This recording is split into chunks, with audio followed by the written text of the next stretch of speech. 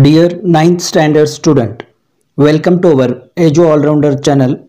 Today we are going to learn your first poem Upagupta. This poem is written by Rabindranath Tagore, greatest of India's modern poet. He was awarded the Nobel Prize for his book Gitanjali. Now we will go through the poem. Upagupta, the disciple of Buddha, lay asleep on the dust by the city wall of Mathura. Lamps were all out, doors were all shut, and stars were all hidden by the murky sky of August. This poem is about the story of Buddhist monk Upagupta, a disciple of Lord Buddha. What is meaning of disciple? Disciple means follower of a religion. He is a student, pupil, ಅನುಯಾಯಿ ಶಿಷ್ಯ ವಿದ್ಯಾರ್ಥಿ ಅಂತ ಉಪಗುಪ್ತ ಬುದ್ಧನ ವಿದ್ಯಾರ್ಥಿ ಅವನ ಅನುಯಾಯಿ. ಅವನು ಏನು ಮಾಡ್ತಾ ಇದ್ದ? Lay asleep on the dust by the city wall of Mathura lamps were all out doors were all shut and stars were all hidden by the murky sky of August murky sky ಅಂದರೆ ಮಬ್ಬಾದ ಮುಸುಕಾದ ಕತ್ತಲೆಯಿಂದ ಕವಿದ ಆಕಾಶ ಅಂತ. Murky sky ಮಬ್ಬಾದ ಅಂತ. Lamps were all out ಎಲ್ಲ ದೀಪಗಳು ಆರಿಸಲ್ಪಟ್ಟಿವೆ. Doors were all shut ಎಲ್ಲ ಬಾಗಿಲುಗಳು ಮುಚ್ಚಲ್ಪಟ್ಟಿವೆ. And stars were all hidden ನಕ್ಷತ್ರಗಳು ಎಲ್ಲ ಮರೆಯಾಗಿವೆ. ಆ ಮಬ್ಬಾದ ಕತ್ತಲೆ ತುಂಬಿದ ಆಕಾಶದಲ್ಲಿ ನಕ್ಷತ್ರಗಳು ಮರೆಯಾಗಿವೆ. ಆಗ ಆ ಉಪಗುಪ್ತ ಒಂದು ಮಣ್ಣು ತುಂಬಿದಂತಹ ಒಂದು ಗೋಡೆಗೆ, ಮಥುರಾ ನಗರದ ಗೋಡೆಗೆ ಹೊರಗಿ ಮಲಗಿಕೊಂಡಿದ್ದಾನೆ. ಆವಾಗ ಏನಾಗ್ತದೆ ಅನ್ನೋದು ಇಲ್ಲಿನ ಸಂದರ್ಭ. Whose feet were those tinkling with anklets ಅವಳ ಪಾದಗಳು tinkling making a pleasant metallic sound ಸುಮಧುರ ಶಬ್ದ ಪ್ಲೀಸೆಂಟ್ ಮೆಟಾಲಿಕ್ ಸೌಂಡ್ ಮಾಡುತ್ತಾ touching his breast of a sudden ಅವನ ಎದೆಯ ಭಾಗವನ್ನು ಯಾರೋ ಮುಟ್ಟಿದ ಹಾಗಾಯಿತು ಹಿ ವೋಕಪ್ ಸ್ಟಾರ್ಟಲ್ಡ್ ಅವನಿಗೆ ಎಚ್ಚರವಾಯಿತು.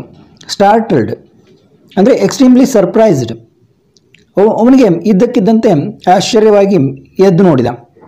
And the light from a woman's lamp ಆ ಮಹಿಳೆ ಹಿಡಿದಿರುವಂತಹ ಒಂದು ಬೆಳಕು.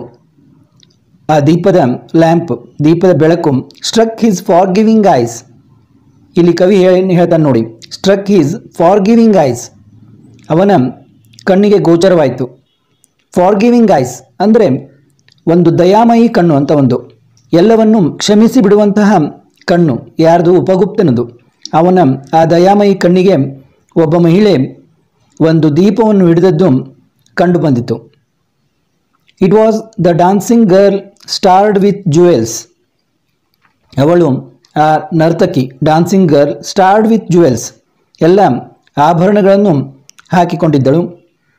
ಆಭರಣಗಳಿಂದ ಶೃಂಗಾರಗೊಂಡಿದ್ದಳು. Wearing a pale blue mantle wearing a pale blue mantle mantle ಅಂದರೆ ಒಂದು ತೋಳಿಲ್ಲದ, ಸಡಿಲವಾದ ಒಂದು ಪೋಷಾಕು. ಅದನ್ನು ಅವಳು ಧರಿಸಿದ್ದಳು. Drunk with a wine of her youth drunk with a wine of her youth ಒಂದು ವೈನ್ ಅಂದರೆ ನಿಮ್ಗೆ ಗೊತ್ತು, ಮಾದಕ ಪಾನೀಯ.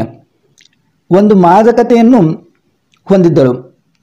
ಅವಳ ಯೂತ್ ಅಂದರೆ ಅವಳ ಯೌವನದ ಮಾದಕತೆಯನ್ನು ಹೊಂದಿರುವ ಒಂದು ತರುಣಿಯಾಗಿದ್ದಳು ಅಂತ ಅವಳು.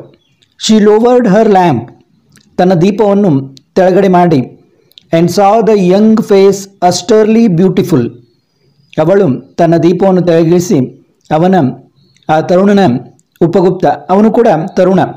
ಅವನ ಮುಖವನ್ನು ನೋಡಿದಳು. Austerely beautiful. ಇಲ್ಲಿ ನೋಡಿ, ಆಸ್ಟರ್ಲಿ. ಅಂದರೆ ಆ ತಪಸ್ಸಿನ ಒಂದು ಕಾಂತಿಯುಕ್ತ, ಒಂದು ಶಾಂತ ಕಳೆಯನ್ನು ಕೊಂಡು, ಹೊಂದಿರುವಂತಹ ಮುಖವನದು, ಯಾರದು? ಉಪಗುಪ್ತನದು. ಒಂದು ತಪಸ್ಸಿನ ಉಗ್ರ ಸಂಯಮದ, ಒಂದು ಸೌಂದರ್ಯದ, ಒಂದು ಶಾಂತ ಕಳೆಯ ಮುಖ ಹೊಂದಿತ್ತು ಅಂತ ಇಲ್ಲಿ ಕವಿ ವರ್ಣಿಸ್ತಾರೆ.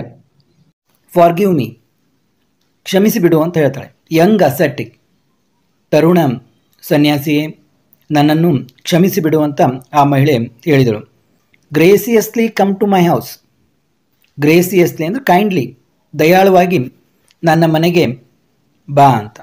The dusty earth is not fit bed for you.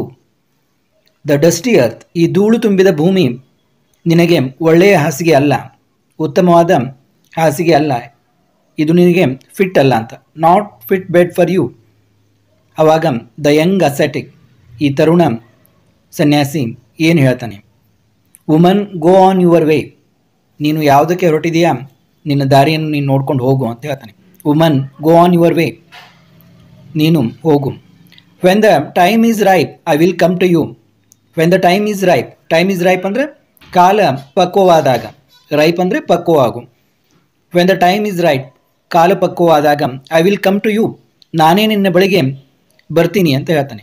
Suddenly the black night showed its teeth in a flash of lightning ಆ ಕತ್ತಲೆಯ ರಾತ್ರಿಯಲ್ಲಿ ಒಂದು ಮಿಂಚು ಬಂತು. ಶೋಡ್ ಇಟ್ಸ್ ಟೀತ್ ಕವಿ ಅದನ್ನು ಒಂದು ಬಿಳಿಯಾದ ಹಲ್ಲಿಗೆ ಹೋಲಿಸಿದ್ದಾನೆ. ಒಂದು ಬೆಳ್ಳನೆಯ ಹಲ್ಲು ಕಂಡಂತೆ ಮಿಂಚು ಎ ಫ್ಲ್ಯಾಶ್ ಆಫ್ ಲೈಟ್ನಿಂಗ್ ಕಾಣಿಸ್ತು. ಲೈಟ್ನಿಂಗ್ ಬೆಳಕು, ಬಿಳಿಯಾದ ಹಲ್ಲಿನಂಗೆ ಒಮ್ಮೆ ಕಾಣಿಸ್ತು. The storm growled from the corner of the sky the storm ಬಿರುಗಾಳಿ growled from the corner of the sky ಆಕಾಶದ ಮೂಲೆಯಿಂದ ಒಂದು ಬಿರುಗಾಳಿಯ ಒಂದು ಶಬ್ದ. ಗ್ರೌಲ್ಡ್ ಅಂದರೆ long deep sound or series of sounds ಅಂತ. ಒಂದು ಬಿರುಗಾಳಿಯ ಒಂದು ನಿರಂತರವಾದ ಒಂದು ನಿಡಿದಾದ ಶಬ್ದ ಕೇಳಿಬಂತು ಆಕಾಶದ ಮೂಲೆಯಿಂದ. And the woman trembled in fear of some unknown danger ಯಾವುದೋ ಅನ್ನೋನ್ ಡೇಂಜರ್ ಗೊತ್ತಿಲ್ಲದ ಒಂದು ಅಪಾಯ ಆಗ್ತದೆ ಎಂದು ತಿಳಿದುಕೊಂಡು ಆ ಮಹಿಳೆ trembled ನಡುಗಿದಳು. A year has not yet passed it was evening of a day in April in spring season ಇನ್ನು ಒಂದು ವರ್ಷ ಕೂಡ ಕಳೆದಿರಲಿಲ್ಲ. It was the it was evening day of a day in April April ತಿಂಗಳ ಒಂದು ಸಂಜೆ. ಇನ್ spring season ಆ ವಸಂತ ಕಾಲದ ಸಂಜೆ the branches of the wayside trees wayside trees ಅಂದರೆ ಆ ದಾರಿಯ ಪಕ್ಕದಲ್ಲಿರುವ ಗಿಡಗಳ ಕೊಂಬೆಗಳು were full of blossom full of blossom ಅಂದರೆ ಪೂರ್ಣ ಹೂವಿನಿಂದ ಅರಳಿ ನಿಂತಿವೆ. Gay notes of the flute came floating in the warm spring air from afar ಆ ಗಿಡಗಳಿಂದ ಒಂದು ಸಂತೋಷದ, ಉಲ್ಲಾಸದ ನಾದ, ಗೇ ನೋಟ್ಸ್ ಆಫ್ ದ ಫ್ಲೂಟ್ ಒಂದು ಕೊಳಲಿನ ನಾದ, ಗೇ ನೋಟ್ಸ್ ಆಫ್ ದ ಫ್ಲೂಟ್ ಅಂದರೆ ಒಂದು ಸಂತೋಷದ, ಉಲ್ಲಾಸದ ಕೊಳಲಿನ ನಾದ.